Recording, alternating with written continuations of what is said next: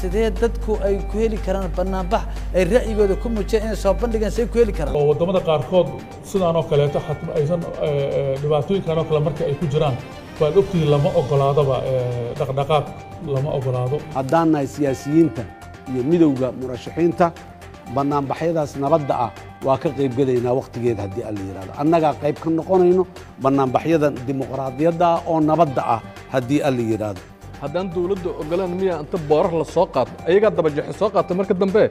Haddaan anigu de ninka waska waska daynayna because waa qaangaar siyaasadeed ma ninkaan horta qaangaara kadib haddii kale haddee suug sugudha waqtiga intaas barraa waa mahadsanta marka waxaan leeyahay madaxweyne uga dartay ha uga sii danin.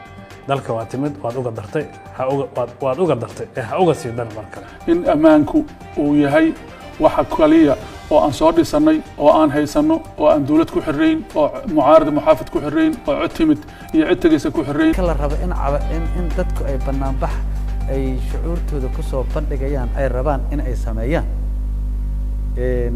Oo kaba soo qaadi karo magaalada muqdisho oo kale tusaale ahaan dad baa warqad geystay maxkamaddii oo yidhaahday ama meelaha geystoo yidhahdeen waxaan rabnaa inaan banaanbax samayno oo aan ku cabirayna ra'yigeen ra'yigeeda. Ma u malaynaysaa sida dalalka kale in ay magaalada muqdisho banaanbaxaasi dawladdu aqbalayso? Bismillah horta waa waa mahadsantaa waa su'aal muhiim ah. Su'aashaasi aad su'aashaasan aad waa saas wey xasan dawladaha yurub. Dawladaha yurub waxaa jira nidaam. Sida aad hadda sheegtay ah nidaamkaasoo qofka muwaadinka uu ogolaanhaya hadduu cabasho qabo ama fikrad uu qabo inuu inta warqad geysto loo soo ogolaado subaxiina meel lagu ogyahay tago. Barta meesha uu calaamadaysto qofkaas tegahayana waxaa sii tegahaya ciidamada booliiska oo ilaalinaya nabadgelyo iyo isku dhicid inay meesha ka dhacaan. Booliis lagama waayo. Waa wixii doonaa sheegi karaa. Laakiin inaan imaan farakutaag iyo dagaal iyo ama dhexdooda ah ama gruub kaleo ka soo horjeeda inay isku dhacaan horta laga waardiyayaa meel walba adduunkana waa saas. Ama maraykan ha noqoto ama yurub ha noqoto. Tan soomaaliya kuwa soo hartay soomaaliya laguma macnayn karo oo hadda lagama dhigi karo waddamadan ka imaanay dadku waa hubaysan yihiin. Dadku nidaam darradii soddonka sanaa haysatay waa waxa maanta step by step meelba lala gaarsiinayo. Ciidamadii la dhisahayo hubkii la aruurinayo tartiib baar tartiib. Waad arkaysa maanta rag hubaysan oo dharkii militariga aan wadano shacaboo macawse wato qoryo wata aad arkaysa waa dad badanoo sidaasoo kale aa jiro qori qori haysta. Ma qabad maanta habka iyo nidaamka iyo meesha aan ku jiro? Waxaa la rabaa dadku inay banaanbax sameeyaan ay rabaan Ah, macnaha banaanbax in la sameeyaa lacalaba la rabaa. Way adagtay. oo dadku ma fahamtay haddii marka ciidamada do- inta la geeyo la yidhaahdo ammaankeenana suga banaanbaxeena waa samaynaynaa. Waxaan da- darjirka dahsoonaan isugu imaanaynaa. Kun iyo boqol iyo waxay doonaan ha ahaadaane macnaha sidee dadku ay ku heli karaan banaanbax ay ra'yigooda ku muujiyaan inay soo bandhigaan say ku heli karaan? Laba sababood waa jiraan. Haye. Waddankan laba cadow buu leeyahay. Cadow gudaha uga jiro. Cadow gudaha. Markaasay ku soo baxayaana ka wada. Dadka adaa lagaa rabaa nabadgelyadooda inaad sugto wax walba dawladda inaad sugto waa la rabaa laakiin dadka iyadoon macnaha la dhehaynin meeshaan ka taga iyo meeshaan ka taga iyadoon la dhehaynin qofku ra'yigiisa xorka u yahay see ku soo bandhigi karaa maxaa kuu aadaya? Maxkamad hadduu tago oo warqadda la geeyo ama gobolka banaadir warqadda uu geysto oo uu yidhaahdo maalinta maalinta bishu intaas tahay. Fagaarahaasaa waxaa ka dhici doona banaanbax lagu muujinayo cabashada dadka. Ma la ogolyahay dawladda ma ogolaanay xasan horta waxay ku xiran tahay dowladdu waxay ka qaadata laakiin hal baan kugu darahayaa lama fududaysan karo. Haddii dadkaas inta la ogolaado mudaharaado taga la yidhaahdo qof hadduu dhinto dowladda maanta lagu eedaynhayaa ama habab kale ha u dhinto. Ama dadku waa hubaysan yahay hubka inta isla soo baxaan ha isku dhuftaan. Wax kastoo iyadoo ka imaanaysa waa meeshaas. Marka waxaan ka wadaa haddayba dowladdu u xayiran tahay u cuban tahay in mar walba wixii dhacaa iyadoo ay mas'uuliyaddeeda qaadayso. Way adag tahay soomaaliya maanta in mudaharaad laga qabto waa la qaban karaa laakiin dadku nabadooda meel ku sii haddii aan dawladda ogolaan haddaan dawladda ogolaan miya inta boorar la soo qaato ayagaa dabajaxi soo qaata marka dambe? Anigu ninka waska waska daynaynaa because waa qaangaar siyaasadeed ma dham ninkaan horta qaangaara kadib haddii kale haddee waqtigaaga sug sugudha waqtiga intaas barraa waa maadsanta saakayba dhacda banaanbaxo ma la yeeli karaa ma horta waa dastuuri. Qodobka sideed iyo tobanaad labaatan saddexaad wuxuu ka hadlayaa muwaadinka soomaaliga inuu ra'yigiisa soo bandhigi karo faafareeb la'aan banaanbax samayn karo siyaasaddu rabo mateli karo waxuu rabo ugu samayn karo. Dastuurka ayaa ogol. Okay waana la ogolaaday oo kii saakaaba dhacay waayo boorarka la diyaarinayay waa wada fiirsanaynay ilaa ay ciidama yimaadaan macawsi wato sabano wato iyo bambooyin qaar wataan intay ka yimaadeen dowladdu dulqaadayooda booliisku meeshuu taagnay marka banaanbaxu dhamay marka ma la samayn karaa ma xasan waaba la sameeyey saaka u dhacay laakiin de marka amniga faraha ka baxay oo ay noqotay sidii maxuu ahto wixii jabhad loo bedelay oo niman macawslaya banaanbaxi ilaalayaan la yidhi la keenay. Ee ciidamadii qarankee tuutii wata oo isteeley wata la xabadeeyey. Dowladdu waxay ku qasabtay amniga inay soo celiso oo ay hubka ka dhigto oo ay dadka kuwa banaanbaxa laftarka amnigooda ilaaliso marka dastuurkana waa noo ogol yahay dastuurkana waa noo ogol yahay qof la warsaa ma jirta la banaan baxo laakiin in shabaab yimaado qarxiyo iyo dad kaba soo wax kale qaada waa wixii maanta dhaca fawday ahay. Dad baa raba inay banaanbax dhigaan. Waxay rabaan banaanbaxaasi inay meel isugu tagaan. Ee wax warqaday geysteen meel kastay tageen. Maya maya ma- loo ogol yahay tan maanta iska dhaaf ma loo ogol yahay fasax inay helaan waa. in fasax ay helaan. dad la og yahay amniga markaas localka oo saldhigga booliiska ugu dhow ama konsolka degmada Ha. ayay u sheegayaan kaliya. Laakiin maxkamadna uma baahno wasaaradda arrimo gudeed inay fasax weydiisana uma baahno our waxaa constitution leedahay banaanbax waa la samayn karaa. waana unless uusan rabshado. Laakiin xorriyaddaada waxay ku agtahay intaad qof kale xorriyaddaada gasho. Taas waa ina ogaato. Okay waay marka dadka waxaa loo sheegi karaa inay banaanbax oo peaceful demonstration samayn karaan.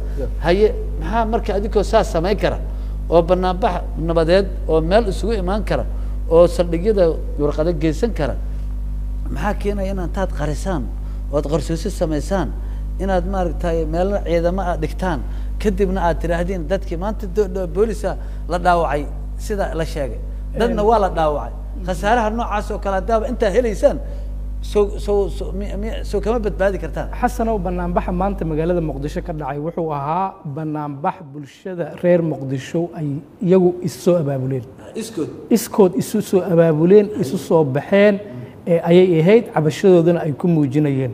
Qodobka labaatanaad ee dastuurka ayaana u ogolaanaya in weliba fasax la'aan banaanbax nabadeed muwaadin kasta iyo muwaadiniin kasta oo soomaaliyeed ay ku muujin karaan ee qodobka ayaa u ogolaanaya. Wuxuuna ahaa banaanbax nabadeed. Halka ciidamo ma aragtay ii sheeg macawiisyo iyo go'yo wata oo ma aragtay ii sheeg ee ay mudaharaad ku waardiyeynayeen een, anagu ma arkin Een, halkanna ciidanka ma aragtay hub ku haysta waa ciidanka dowladda oo qaybihiisa kala duwan. Marka waxayna ahayd in ma aragtay ii sheeg banaanbax nabadeed ay dhigaan. Dowladdu iyadaa u dulqaadan weysay iyadaana ma aragtay ii sheeg ciidamada hubaysan ee qaybaheedii kala duwan booliis iyo military iyo magaaladan ku haysata. Marka annagu maan arkin ciidamo oo ma aragtay ii sheeg ka qaybgelaya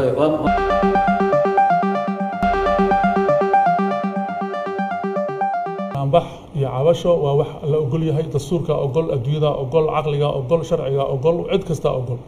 Waa marka qofka laga warqabo ujeedadiisa uu sheego amniga u yimaado wuxuu qabo uu sheego ayaga markaa dowladda waxaa ka saaran inuu goobtuu tegi lahaa nabdoon isagoo nabdoon tago meeshuu mari lahaa bulshadii waxaasoo dhan in laga caawiyo. Si u cabiro dowladnimadeena waxay ku dhisan tahaba ra'yi ra'yi ka duwan lama diidana taas. Laakiin waxaasoo dhan ayadoon la marin oo weliba xilli adag lagu jiro oo waddamada qaarkood sidaan oo kaleeto aysan eh, eh, dhibaatooyinkan oo kale marka ay ku jiraan waad ogtihiin lama ogolaadaba eh, dhaqdhaqaaq lama ogolaado. Laakiin annaga waddankeena oo ah waddan eh, dowladdu furfuran tahay systemku furfuran yahay warbaahintu furan tahay bulshadu isu furan tahay ayaa waxaa waaye waa dastuurkeenu noo ogol yahay sharcigu ogol yahay in dadku ay mudaaharaadaan si nabdoon u cawdaan waxa ay qabaan la soo mariyo heedaha amniga si sharciya waxaasoo dhan ma dhicin.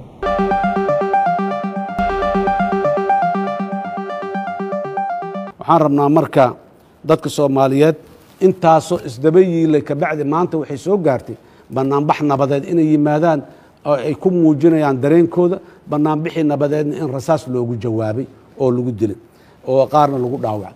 Dadkii dhaawacmay waxaan leenahay ilaahay dhaawacooda ha u booga dhayo waxaa kaloo sidoo kale aan- waxaana mas'uuliyaddaas dadkaas maanta dhaawacmay ay dusha ka saarantaho aanay ka haraynin madaxweyne farmaajo.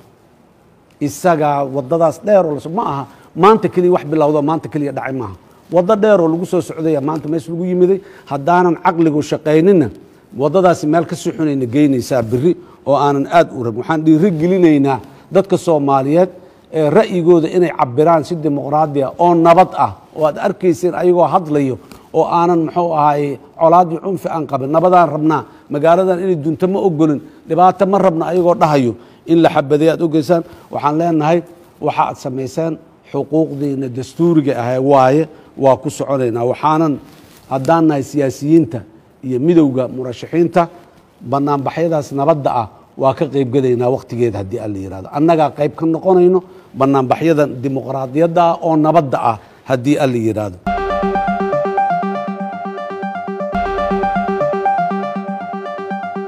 magaalada muqdisho waxaa ku cusub dhacda ee, aad iyo aad u qallafsan oo ah in dowladda soomaaliya ay ciidamo jidadka ku goysay ee, iyadoo kaga jeeda arrinkaasi inay qa- qalqal siyaasadeed iyo deganaansho la'aan ka abuurto dadka noloshana lagu sii dhibo.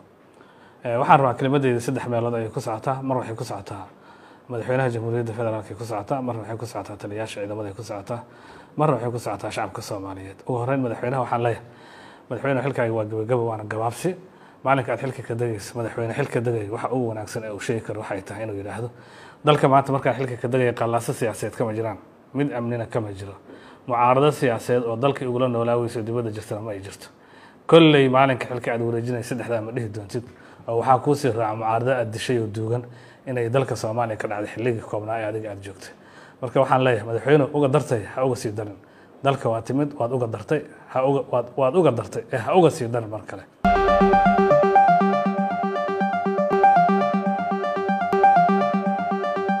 mar labaad iyo mar saddexaadne fariintan gaaban waxaan ka bulshada soomaaliyeed guud ahaan aan ka codsanayaa in ammaanku uu yahay waxa kaliya oo aan soo dhisanay oo aan haysano oo aan dowlad ku xirayn oo mucaarad muxaafid ku xirayn oo cod timid iyo cid tegaysa ku xirayn oo kayd noo ah oon u soo rafaadnay oon u soo dhibtoonnay oo inuu dib nooga noqdo aan diidayno wixii ku soo gaara ayadoo ammaanka la sugayo oo ciidamada ammaanka ay kala kulmaan. Inay dulqaataan wixii dhibaataana waa ka raali gelinaynaa wixii dhib dhaca waa ka tacsinaynaa mar walbana ciidanka waxaan mar walba ka faraynaa inay bulshadooda u turaan ayagoo ammaanka ilaalinaya